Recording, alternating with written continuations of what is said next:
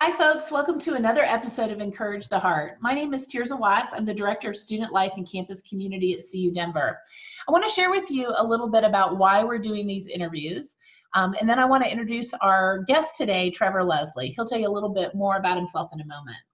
The Student Life and Campus Community team is participating in this campaign called Cultivate What Matters. And we're doing that because we believe the best things in life are cultivated little by little. You have to take time to experience things and reflect on them. Our team comes to work every day focused on the mission of encouraging and equipping you as college students um, with the skills to cultivate what matters right where you're at right now. Because at the end of the day, this is really about you. Um, it's about your story, your hopes, your goals, and what fires you up. We can't wait to cheer you on in this journey of cultivating what it matters right now in your own life, right where you're at. So today my guest is Trevor Leslie. Trevor, will you introduce yourself a little bit? Tell us a little bit about you, what you're studying, etc. Okay, um, as you said, my name is Trevor. I am a peer advocate leader or a PAL on campus. I'm also a new student orientation leader on campus. Um, and then I do some work um, about reproductive rights on campus as well. I am studying human development and family relations.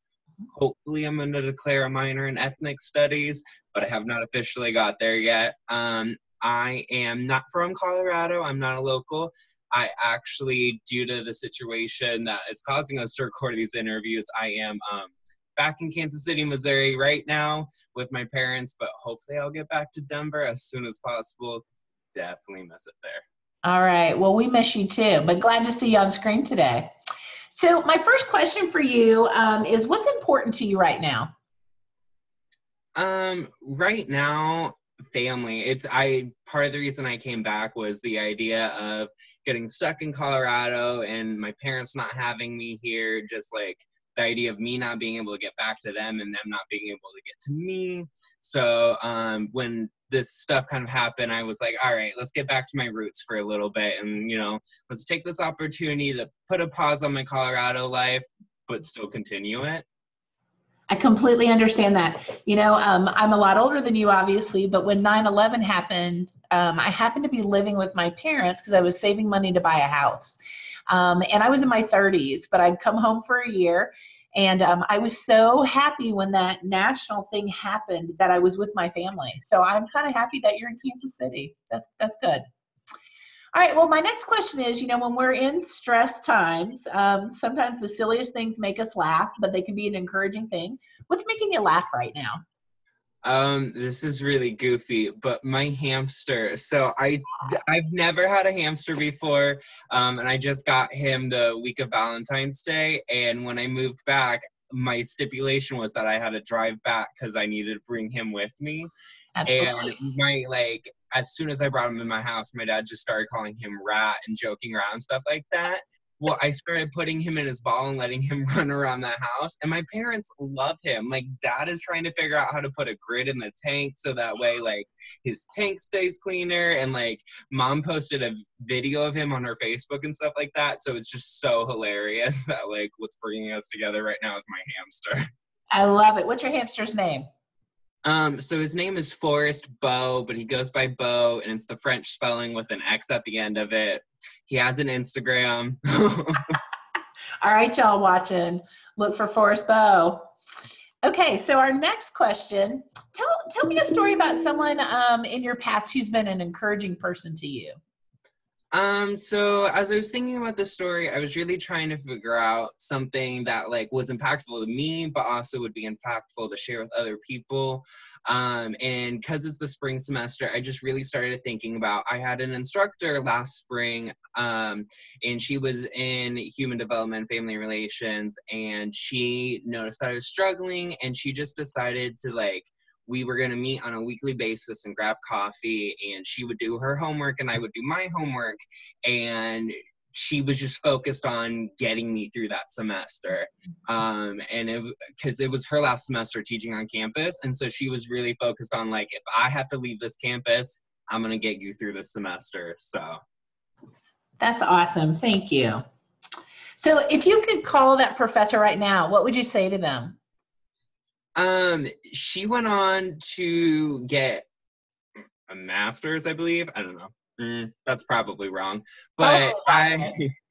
um i she's doing a lot of research so i definitely would call and like see how her research is going. I think um that she invested like so much time into my life like it would be a good chance to like just kind of figure out and be like are you getting what you like wanted? Are you studying what you wanted? and all that type of stuff and i would definitely um try to fill her in and like mm-hmm. talk about all the different roles and hats that i wear this year because so much has changed within the past year Cool. I bet that would actually encourage her. So I want to challenge you to email her today if you can track her down. I have her number. I've like I like pulled it up and I was like, no. It's this whole like COVID thing. You start wanting to text people from your past and you're debating and like, mm, should I really do this? Why not? Send her a text today and just say, hey, I talked about you today and I just wanted to thank you and check in on you. Okay, so our next question is when you think about the last month, what have you learned about yourself? Um, I am super resilient. Walking into the beginning of the March, I was definitely super concerned. Um, I was struggling this semester to begin with, um, not including everything that like quickly started happening as the semester progressed. Yeah. So um, just after everything, like within three days, I had packed up my apartment and moved back to my parents temporarily, and I had um, I worked four jobs. So I had to like make the arrangements for all the jobs and stuff like that. And I have just really learned that like if I got to do something, I can make it happen as fast as I need it to happen. And so it was a nice, like, little snippet into that strength that I think we all have inside of us that only comes out in times like this. Mm-hmm. Awesome. I love that you have figured out resiliency and you can name it what it is and not only execute it, but really own it. Yeah. So, if you were talking to somebody who was struggling right now, what kind of encouragement might you offer them? Reframing. Uh, reframing has got me through honestly 80% of everything that's ever happened to me, but especially this situation because as much as like I want to focus on like the doom and gloom and like mm-hmm. kind of make be commit um comedically like melodramatic about everything because like that's kind of where we're at right now but I, without this, I wouldn't have been able to come home and live with my parents for a while and see all of my old friends.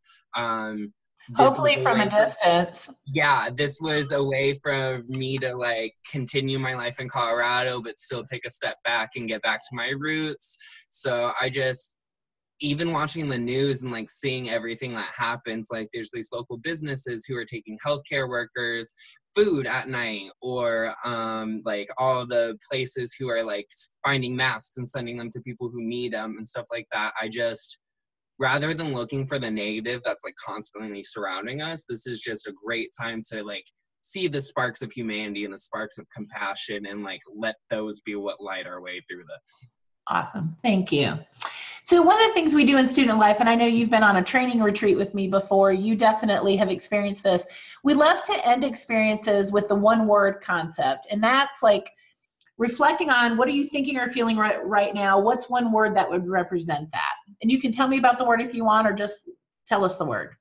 Um, resilience. I love how you mentioned that earlier. That has um as a pal i did a workshop with my students about resilience and i think this is something that like college students don't hear enough of.